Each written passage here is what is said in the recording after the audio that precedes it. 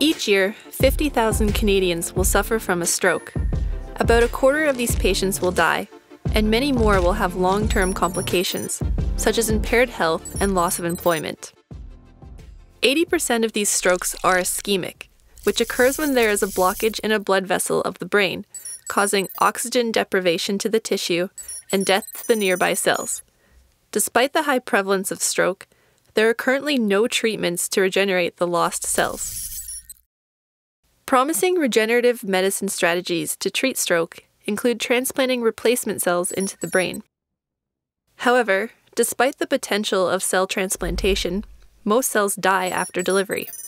It is thought that this is because the injured brain is a hostile environment and does not provide the support the cells need to survive.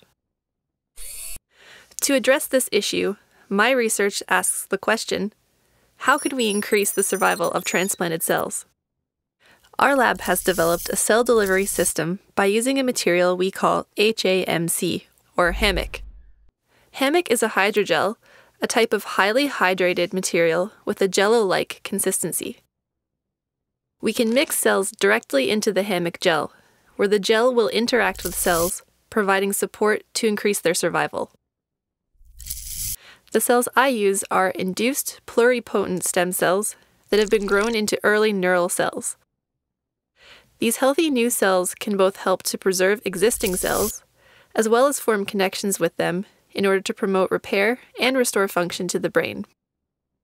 Importantly, the physical properties of our gel allow us to inject it through an extremely fine needle, where the gel will provide a place for the delivered cells to live and integrate with the surrounding tissue, increasing the likelihood of recovery after stroke.